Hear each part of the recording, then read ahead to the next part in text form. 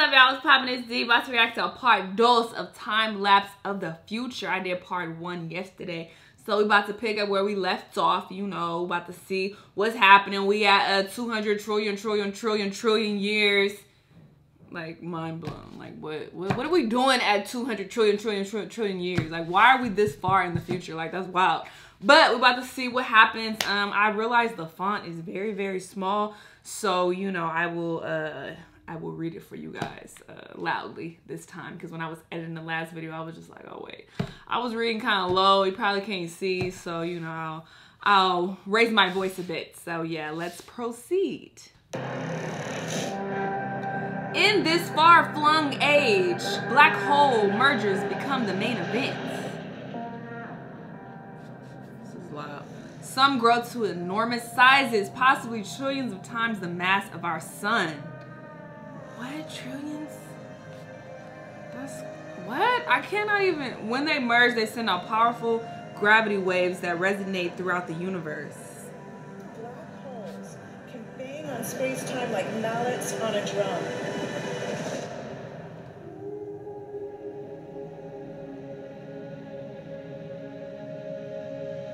And have a very characteristic song. Trippy. Imagine two black holes that have lived a long life together. At the end of their lives, they're going around each other, crossing thousands of kilometers in a fraction of a second. One million trillion trillion trillion trillion? As they do so, they leave behind in their wake a ringing of space, an actual wave on space-time.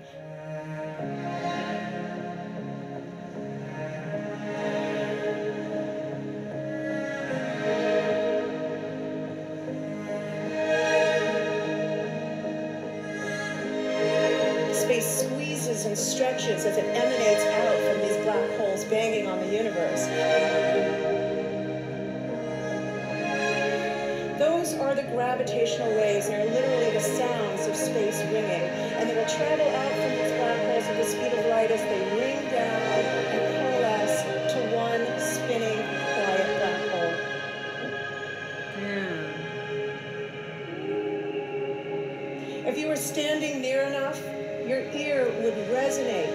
the squeezing and stretching of space. You would literally hear the sound. What the fuck does that sound like?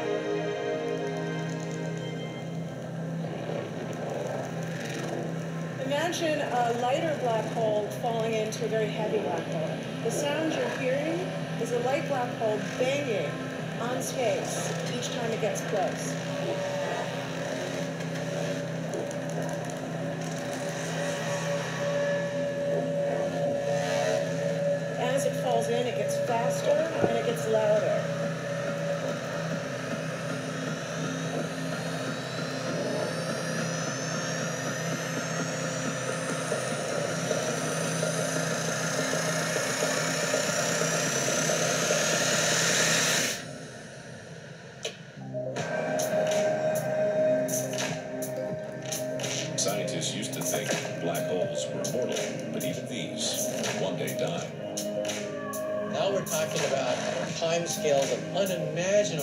Quadrillions of years into the future.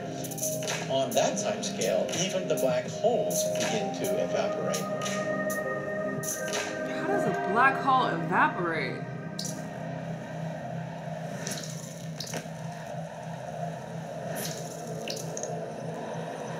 According to quantum mechanics, space is filled with virtual particles, unending particles, that are constantly materializing in pairs, separating, coming together again, and annihilating each other.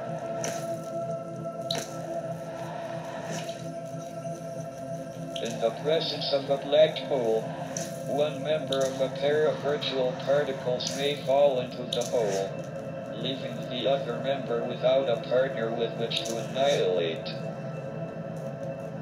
The forsaken particle appears to be radiation emitted by the black hole. And so, black holes are not eternal. Hmm. They evaporate away at an increasing rate until they vanish in a gigantic explosion.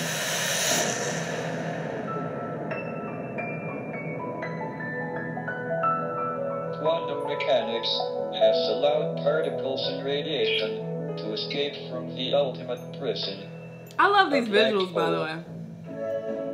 Black holes begin to evaporate away, erasing the last large scale structures in the universe. As they die, they light up the darkness one by one. Oh. Like fireworks.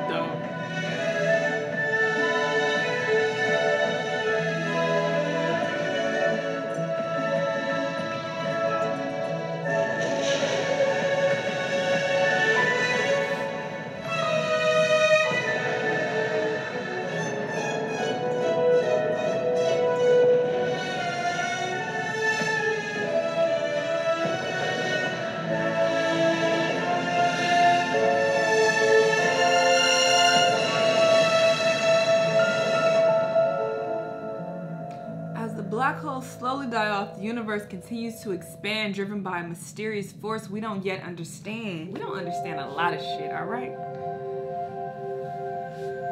This is the frontier of human knowledge, a frontier ripe for exploration and discovery. Philosophers and poets have asked the question will the world end in fire or ice? We can now give an answer. The latest evidence shows that the universe is not slowing down, but it's speeding up out of control. And the universe, we think, will die in ice. Trillions upon trillions of years from now. empty space itself has energy. In every little cubic centimeter of space, whether or not there's stuff, whether or not there's particles, matter, radiation, or whatever, there is still energy even in the space itself. And this energy, according to Einstein, exerts a push on the universe What is the weird stuff that's accelerating the universe? We call it dark energy. And this stuff is the dominant stuff of the universe. Almost three quarters of the matter energy content of the universe is this dark energy. And we don't know what it is.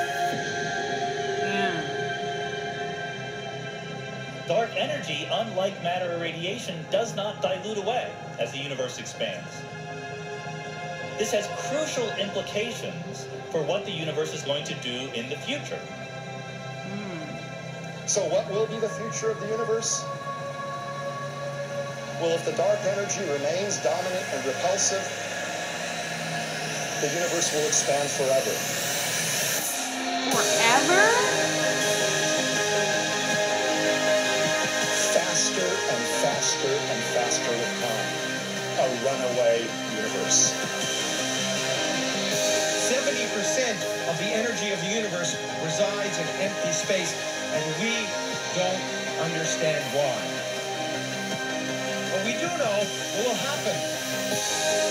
We don't know if shit. that energy continues to be there, the universe will become cold and dark and empty. That's the future as it might be. We don't know because we don't yet understand the nature of dark energy. Until we do, we won't know the future. We won't even understand the, our own origins. And that's why we want to know and study this subject. Discovering the true nature of dark energy could change our vision of the future dramatically. Meaning, more correct, if it somehow weakens over time, the universe could collapse under gravity, a big crunch. Oh. Given a boost, it could tear the universe apart at the seams, a big rip. Sorry, my camera died. Uh, shit. Others still could be far more exotic than anything we could imagine.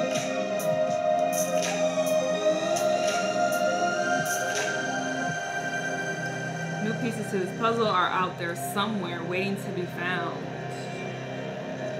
the forecast does seem to be for an ever colder, ever emptier universe.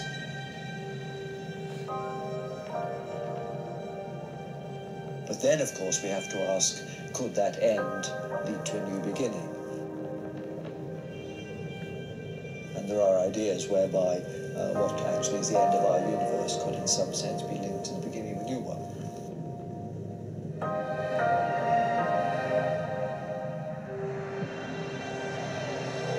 speculate that there may be a way to escape our universe before entropy erases everything. Entropy? I don't know what the fuck that means. We could create simulated virtual universes or with enough energy create another one just like our own. We might be in a simulation right now.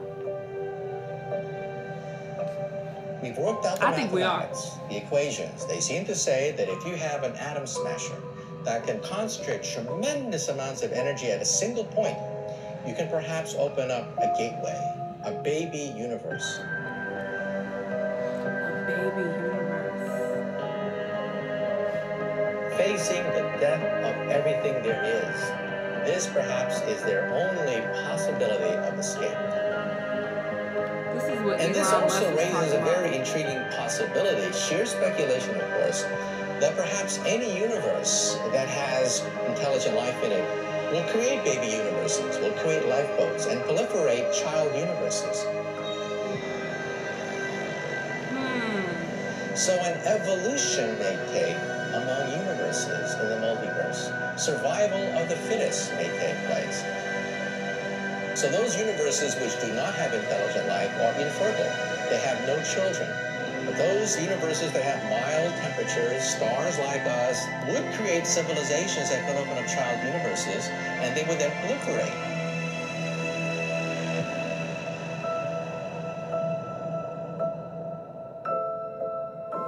There is no way to escape the universe, then entropy will march on, destroying possibilities of massive black holes.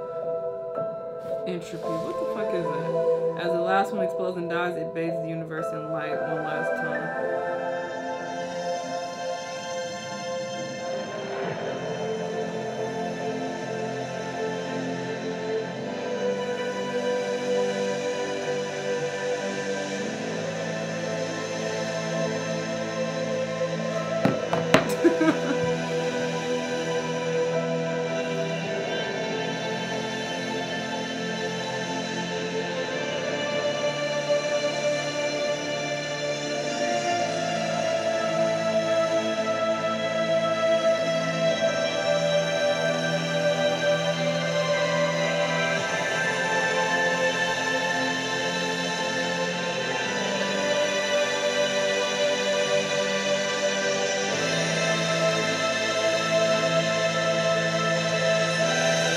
Have a theory.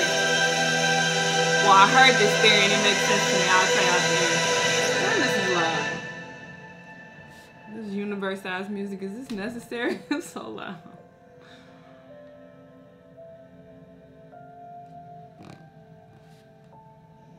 After an unimaginable length of time, even the black holes will have evaporated, and the universe will be nothing but a sea of photons gradually tending towards the same temperature as the expansion of the universe cools them towards absolute zero.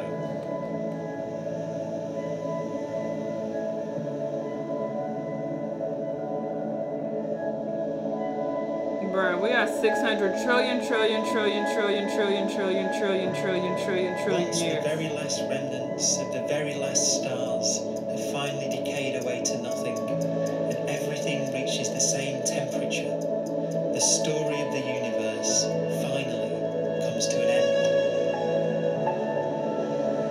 Time becomes For the first time in its life, the universe will be permanent and unchanging. Time is meaningless now. Finally stops increasing because the cosmos cannot get any more disordered.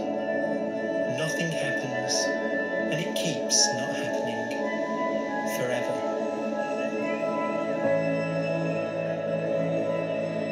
Everything has its wonders, even darkness and silence, and I learn whatever state I may be in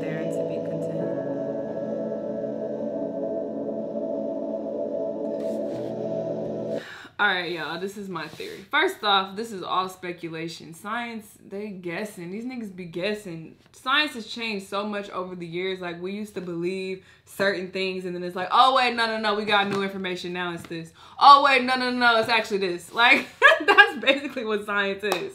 So, I don't really, you know, want to say that, oh, this is definitely going to happen because these niggas don't know. They don't know. Um, But this is my theory. I read this or saw this or heard this somewhere and it resonated with me. It might have been in a reaction, I don't fucking know. But I think we could possibly be in a simulation. I think that that is accurate. Um, the theory that someone had that I felt like made sense, they said that in the future, the way things are going with like virtual reality and shit, like in the future, we're going to evolve so much to where we can create other realities that are so realistic that we don't know the difference between that reality and the base reality or the real reality.